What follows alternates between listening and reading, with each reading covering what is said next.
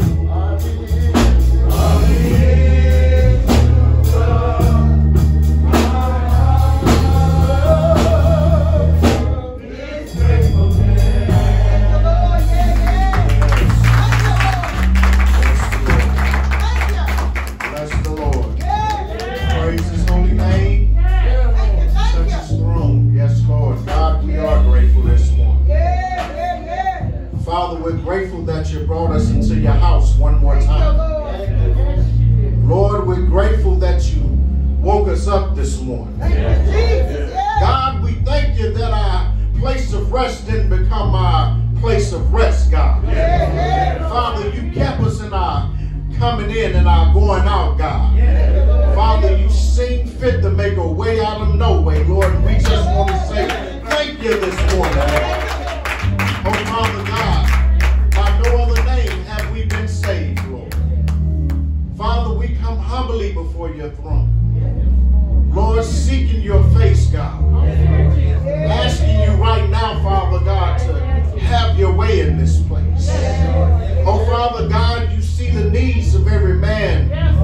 boy, and girl.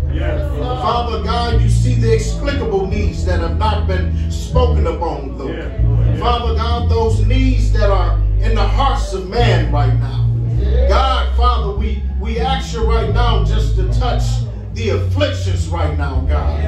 Father God, those that are laying on their sick bed, God. Father God, bodies racked with pain, Lord, we ask you to touch and have mercy right now, Lord. In the name of Jesus, God. City this morning. Father God, the homicides and reckless driving. Father God, the homeless situations, God. Father God, we ask you to rectify right now in the name of Jesus, God. Father God, we're coming to you, God, because we don't know anyone else to come to, Lord. In the name of Jesus, Lord. Father God, we ask this morning that you touch the motherboard, Lord. Father God, we ask this morning that you touch the deacon board, Lord.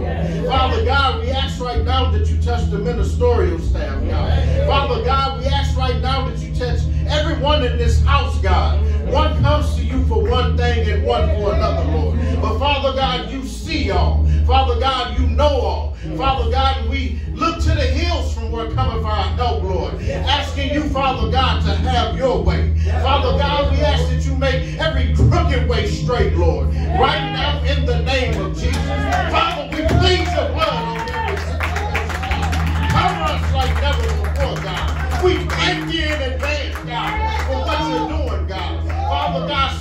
should be dead, God, sleeping in our grave, God, but you made a way, Lord. Father, we thank you that you brought our pastor back home, Father God. We thank you that you brought the first lady back home, Father God, safely, Lord. Father God, we ask right now that you stir him up this morning, Lord. Give him a like never before word, God. Touch him from the top of his head to the sole of his feet like never before, God. We thank you right now, God. Lord, this